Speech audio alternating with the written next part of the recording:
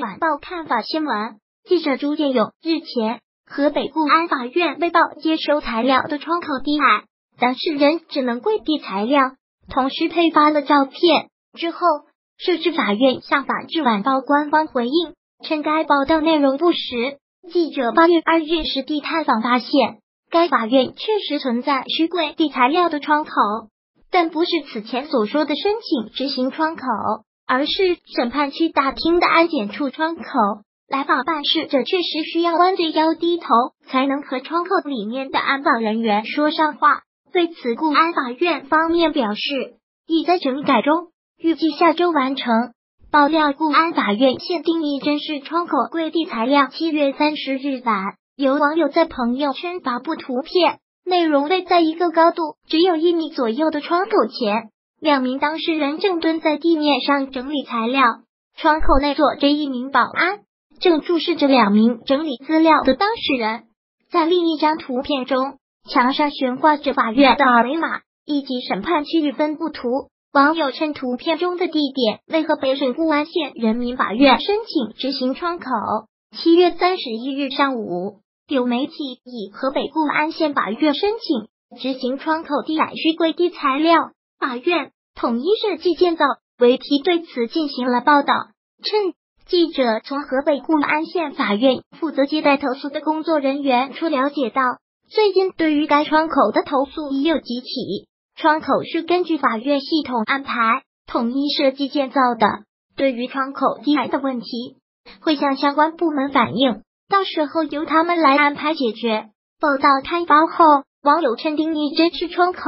就是在你我身边，希望达康书记管管。七月三十一日下午，河北省固安县人民法院官方向法制晚报看法新闻作出书面回应称，网传所谓低矮窗口是固安法院审判区安检专用通道的部分截图。固安法院称，其诉讼服务中心为当事人统一办理立案、信访、接待等综合事项，设有民事、刑事、行政。执行和审监、立案等十二个窗口，每个窗口高度为标准的一点一米。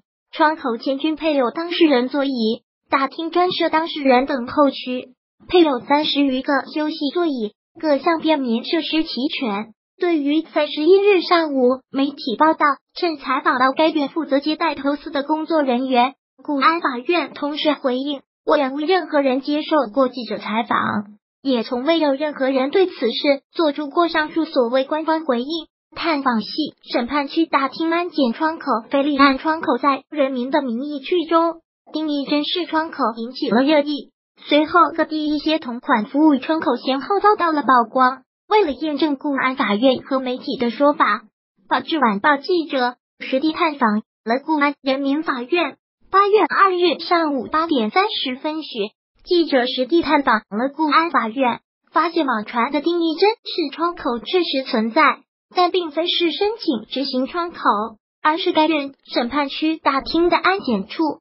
记者注意到，该窗口系审判区安检专用通道，窗口约与一成人的腰部高度相当，因是办事者必经的通道，门口安保人员需核实身份，所以办事者往往要伸弯腰，趴在窗口前。才方便与窗口内进行交流。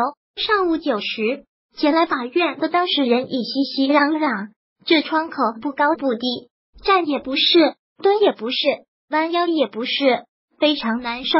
一位前去申请一起执行案件的罗先生，在窗口等待近二十分钟，不时半蹲或弯腰。室内虽然有空调，但罗先生还是一身汗，因为等候时间长。大厅又没有多余座位，罗先生不时在窗口半蹲或弯腰。这时，安保人员则开始提醒不能下蹲。回应：因办公楼老旧，正计划整改，将加快进度。针对法网记者的所见所闻，八月三日下午，固安法院政治处相关负责人回应称，因为办公楼老旧，办公区和审判区都在一起，而那个地方审判区大厅安检处窗口。空间确实比较狭窄，如果多放座椅，空间会更小。我们之前就有这个改造计划，但是因为空间太小，就耽误下来了。现在单位正紧急筹划这件事，将会加快进度，不能一直停留在这个状态。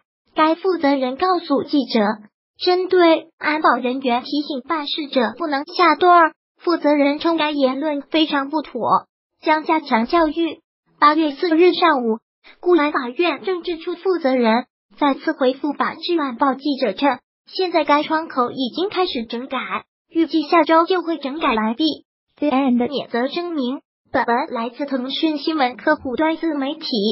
不代表腾讯网的观点和立场。